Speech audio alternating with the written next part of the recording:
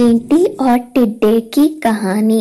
गर्मी का दिन था सुबह की किली धूप में एक टिड्डा बड़े मज़े से घास पर फुदक रहा था।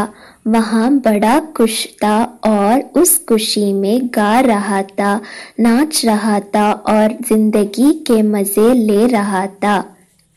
एक और जगह टिड्डा अपनी मस्ती में लगा हुआ था, वहीं दूसरी ओर एक चींटी अनाज के एक दाने को पीठ पर तोड़कर अपने बिल में ले जा रही थी।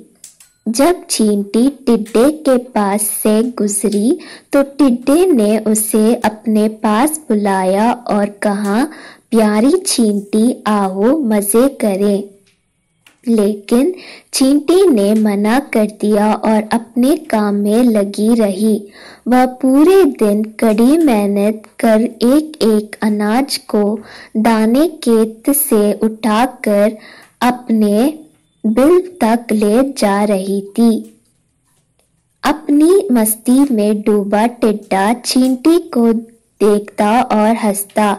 वह बार बार उसे अपने पास बुलाता और कहता, प्यारे चींटी, तुम क्यों इतनी मेहनत कर रही हो? आओ, कुछ देर आराम करो। मेरा गाना सुनो। गर्मी के लंबे और उजले दिन है। ऐसे खूबसूरत दिन इस तरह से मेहनत करके क्यों बर्बाद करना? चींटी बोली, मैं ठंड के मौसम के लिए भोजन इकट्ठा कर रही हूँ। मेरी सलाह मानो तो तुम भी ऐसा ही करो, वरना बाद में पछताओगे।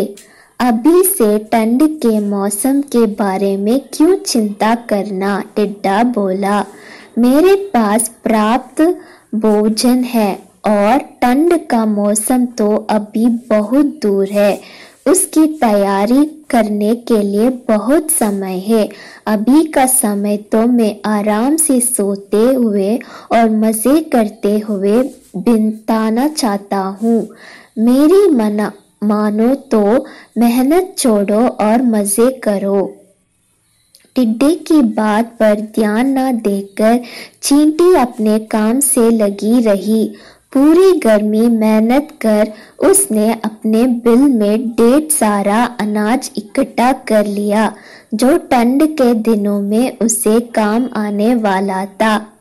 उधर टिड्डा ठंड के मौसम की तैयारी के स्थान पर पूरे दिन नाचता, गाता रहा। अपनी मस्ती में उसे होश ही नहीं रहा कि गर्मी के दिन बहुत लंबे समय तक नहीं रहने वाले हैं। जल्दी ही ठंड के दिन और फिर बरसात के दिन आ जाएँगे, जो उस जैसे जीवों के लिए मुश्किल भरे दिन होंगे। धीरे धीरे गर्मी चली गई और वसंत का मौसम आ गया। फिर वसंत का मौसम ठंड में तब्दील हो गया। अब तो सूरज मुश्किल आसमान में नज़र आता।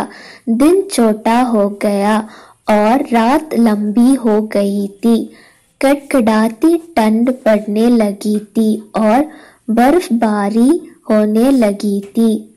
अब टिड्डे को महसूस हुआ कि चींटी सही कर रही थी। उसे भी इस मौसम के लिए पहले से तैयारी करनी चाहिए थी। लेकिन वह तो पूरी गर्मी नाचता गाता और मज़ा करता था। अब ना उसे गाना गाने का मन कर रहा था, ना ही नाचने का। उसका भोजन खत्म हो चुका था। वह ठंड और भूख से तड़प रहा था। उसने सोच नहीं था कि ठंड इतनी बुरी भी हो सकती है। उसके पास भोजन नहीं था। बर्फ़ से बचने का इंतज़ाम नहीं था।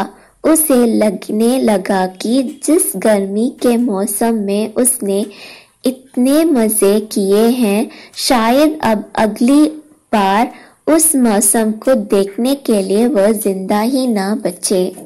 एक दिन भूखे से तड़पते हुए बर्फीले मौसम में उसकी नज़र चीटी पर पड़ी, जो अपने बिल में मज़े से आराम कर रही थी।